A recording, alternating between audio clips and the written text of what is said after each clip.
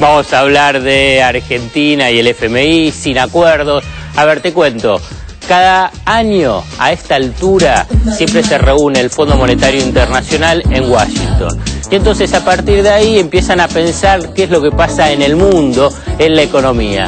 Y entonces si uno ve qué es lo, cómo ha sido tratado el tema de la, la relación Argentina-FMI en estos días, uno reafirma la idea de que Argentina no tiene que estar en el Fondo Monetario Internacional vinculado con sus recetas de ajuste ni con sus auditorías, porque Argentina simplemente al realizar un sendero económico diferente durante toda esta semana estuvo en el centro de las críticas y exigiéndoles que se tiene que subordinar a lo que se denomina el artículo 4 del Fondo Monetario Internacional. Ese artículo 4 del Fondo Monetario Internacional es la obligación que tienen los países miembros del fondo que venga una misión del Fondo Monetario Internacional a auditar las cuentas. Vos fijate que Argentina teniendo una relación distante con el fondo durante toda esta semana estuvo presionada, eh, amenazada respecto a que tiene que controlar sus eh, números y además cambiar de política económica. Entonces, la verdad que lo mejor que puede hacer Argentina es